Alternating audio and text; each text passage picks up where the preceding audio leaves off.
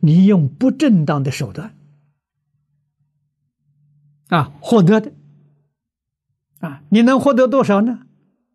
啊，一千万大概打个对折了，你只能获五百万，就觉得我很了不起了。你已经亏折了一半了。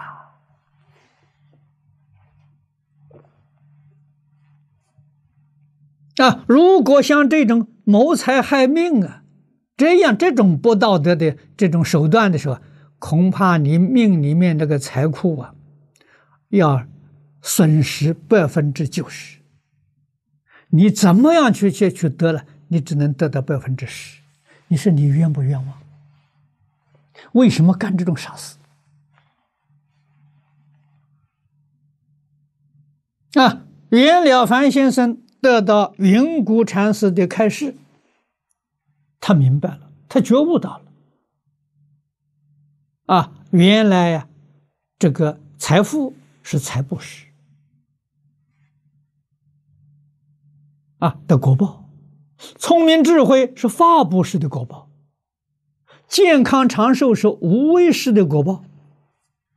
他明白这个道理说，他就干了，真干了，啊！而且太太也帮助他干，啊，两个人一起干，果报就现前了。他命里面那个财富、聪明、智慧天天增长。年年不一样啊！他的信心越来越坚定啊！啊，他的寿命啊，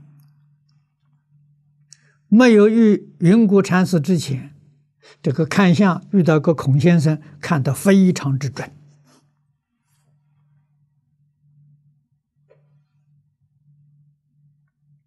啊，说他。命里头没有功名，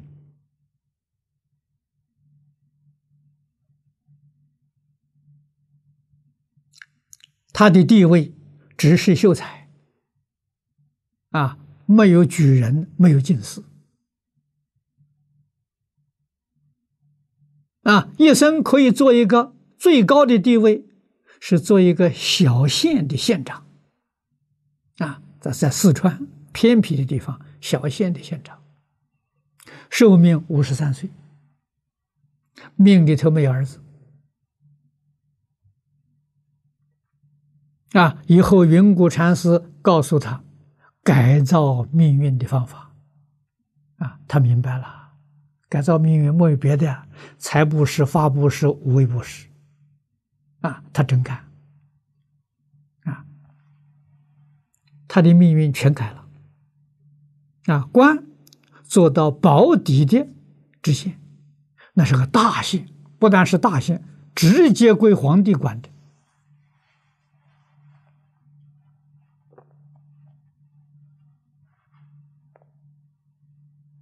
啊，命里没有没有没有功名啊，他考取了举人，他考取了进士。啊，功名有了。啊，命里没有儿子，生了一个好儿子。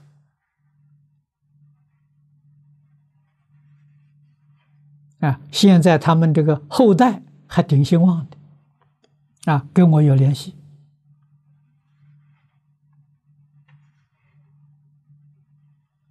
啊，寿命五十三岁，他活到七十四岁走的。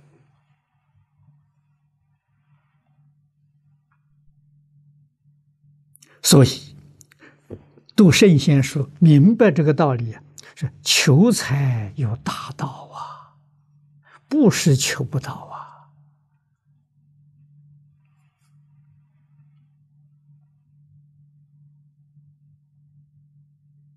啊，我在年轻的时候，啊，有很多人给我算过命啊。我自己是不太相信的，但是很多人，啊，这好奇，我不不忌讳。啊，我的命很苦啊，贫贱。平时命里头没有财库啊，所以物质生活非常艰苦啊。见是没有地位，命里头没有观音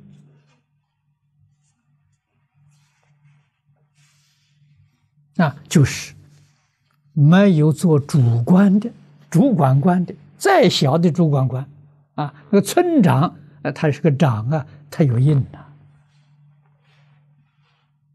啊，所以顶多给人做幕僚，啊，帮助别人，自己啊，做不了主官，啊，没有观音，寿命也短，只有四十五岁呀，啊。了凡先生五十三岁呀，啊，比我长命啊！啊，我是遇到了佛法，啊，遇到了好老师的指导，啊，张家大师叫我修财布施、法布施、无为布施。当时我跟他讲啊。我连自己生活都非常困难，我哪里有钱去布施？啊！大师告诉我，一毛钱也没有，啊，一毛钱可以，啊，一块钱也没有，一块钱也勉强也还行，那就可以了。你就从一毛一块布施，我就真干了。啊，一毛一块怎么不是呢？这个寺庙里面，我们常常去，那时候参与参加他们的法会、佛事活动。哦，看到有人放生，啊，在这里捐钱，那我们就捐个一毛两毛。哎，看到有人印经，啊，印经也在这里捐款，啊，我们也捐个五毛，捐个一块，就从这做起啊。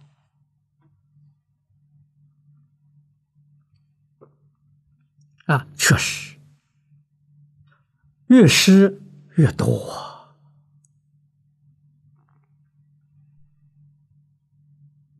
啊！三种布施都干啊！出家之后，所有这些供养修布施啊，啊，没有看到印光大师的时候，我们我就是修的啊，这个布施贫穷。布施医药，啊，医药是我每一个月一定送一些钱到医院，啊，做医药费，啊，有贫穷的人来看病没有钱买药，拿这个去，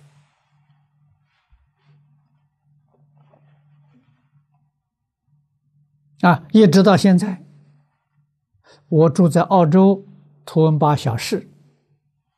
啊，这个小市里面有一个公立的医院，我每一个月捐一万块钱医药费，啊，也有六年了，啊，年年给他。还有一个基督教的临终关怀中心，啊，他们是私人办的，啊，办的很好，啊，临终的时候啊。无论你信哪一种宗教，他都帮助你。啊，他并不是只有基督教徒，啊，佛教用佛教的仪式念佛呢，他同意，他他协助，这个太好了，太难得了。啊，他经费有困难，我也是每一个月给一万块钱给他。啊，这是固定的，很多年了。啊，不是医药啊。这叫无为不施啊，国报是健康长寿啊！啊，法布施那，跟印光法师学的啊，这是我们早年年轻的时候做梦都不敢想啊！啊，怎么能想布施大藏经呢？啊，现在我这一生当中。啊赠送全世界的大藏经，我们目标定在一万套，现在大家已经送掉了七千多套了。